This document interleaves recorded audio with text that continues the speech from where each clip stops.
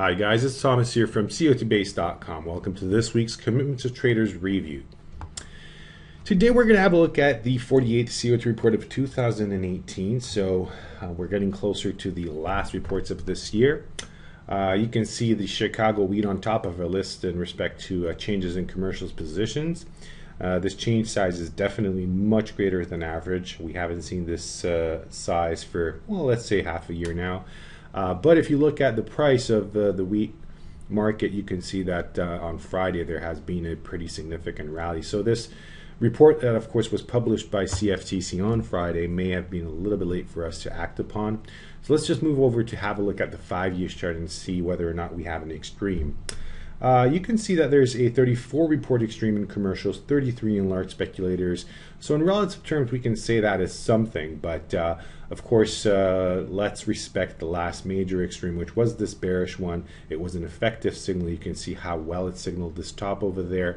And we're pretty far away from those all-time or close to all-time bullish extremes. So there's not much to uh, gather from the report um, in, in the Chicago wheat here, I'd recommend you to move on and, and search for better opportunity. So we're just going to move over to heating oil, which is our next market for this review. There's a 12% change over there in commercials positions. You can see that we had similar changes in the past couple of weeks without any significant reaction. So one might argue why would be why should we expect anything uh, now? Of course, as always, I've uh, uh, highlighted the fact that in uh, COT analysis, uh, I'd uh, consider COT extremes uh, a bit more significant signals, but of course they they are um, more rare than than changes. Um, so let's move over to the five-year chart and, and, and, see that COT extreme, whether or not we have one. Well, the fact of the matter is large speculators are net short now. They've just gone down below the zero line. Uh, the last time they were there was mid 2017, exactly uh, at this uh, relative bullish extreme. Well, it was actually pretty significant uh, that uh, signaled well this bottom over there. And the situation is getting very similar now. Of course, if you look at this five year chart back over here in 2015, the end of 14, uh, you can see we had even greater extremes in the market. So this can easily continue. That's just a warning for you before you rush into the market and start buying heating oil. So, and of course, anything can happen. Uh, the fact is that the uh, COT extreme analysis, the, the, the measurement of the stresses in, in the market, uh, somehow is, is indicating that it is building up to the to the bullish side of the market. So this could continue for a few more weeks or even a month before uh, before the market reacts to it. So uh, nevertheless, it's it's it seems to be a good opportunity um, developing, but we may need to wait a little bit more for that. Uh, the next market is corn, where we have this 11% change in uh, commercials positions. You can see that change over there. Again, bullish COT change signal, maybe a little bit late for us.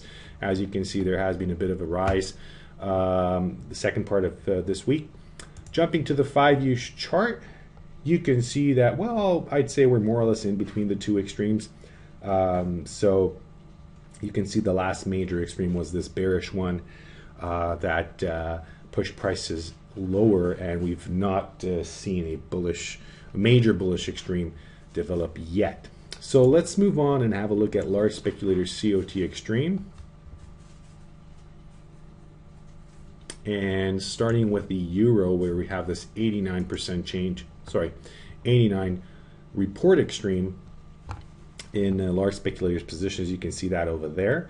Uh, so this is widening. It's becoming larger and larger but uh, as you can see on this five years chart there's a lot of space left to to reach those all-time bullish extremes. So this trend uh, in the euro could uh, could easily continue. The last major extreme was this bearish one uh, back uh, here in, in, in, the early uh, weeks of, of this year. And since then, you can see how well the market reacted. So it's hard to tell uh, when, when it's going to change. We, we, we do have relative extremes when we do not reach those all time or close to all time levels.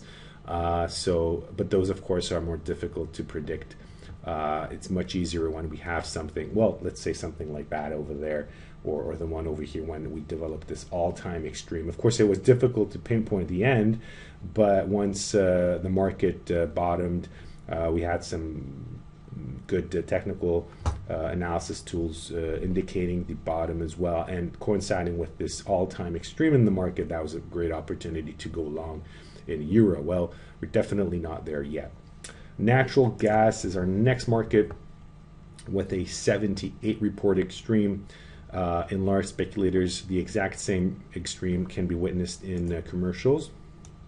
And of course, on a five years chart, everything becomes a bit more visible. So, this is, of course, a bearish uh, COT extreme and a quite significant one, actually. So, uh, you may see on this five years chart that uh, uh, this uh, this uh, extreme back in mid 2017 was actually a very effective signal, uh, stopping this rally, pushing prices back down, and uh, of course after price movements that we've witnessed lately, we're not surprised to see this bearish extreme in the market.